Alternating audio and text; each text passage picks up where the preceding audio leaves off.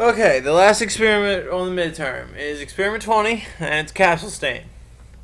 So, uh, overview for capsule stain. This one's kind of fun.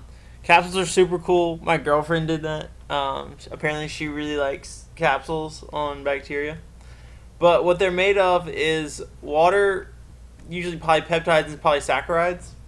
And um, what they do is they because they're made of water, they prevent desiccation, so they don't dry up as easily.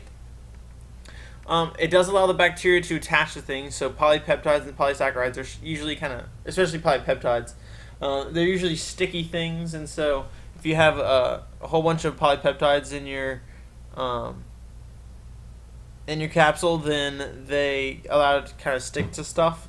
Um, so some bacteria in your mouth actually are have capsules, and so these are the things that actually attach to your tooth and can cause cavities and stuff like that. That's why we brush our teeth um, using uh, stuff like fluoride and stuff like that.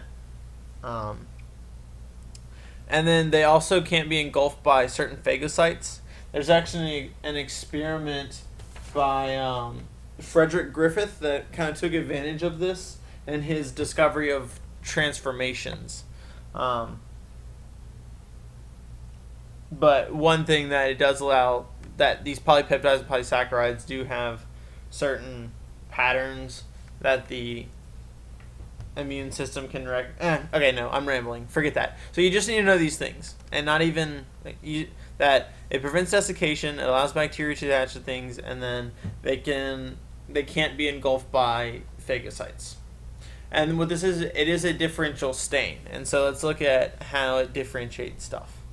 So what we did was we added Congo red to the stain to the slide. So we just have a blank slide and then we added Congo red to it.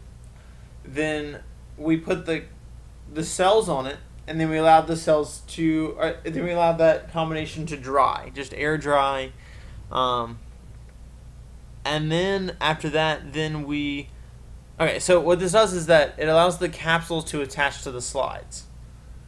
And so the Congo Red stains the whole entire slide, but these capsules um, are then attached, and then they're going to be clear.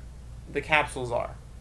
And then the Maneval stain comes in behind that and then stains like the actual cells of the capsulated cells. So we have, in this thing, we have um, the capsules, which are these clear things, the cells, which are the um, darker purple things, and then we have the background, which is the pink, right? And so the what we want is kind of a negative on the slide. And so it's very straightforward. Um, so you just got to know the reagents of um, Maneval's and then uh, Congo Red, but uh, it is kind of interesting to see that this matrix of the um, capsule and how it doesn't actually absorb the stain and stuff like that. So last experiment, make sure that you know all those, and then um, and then I'm sure you'll do fine on the test.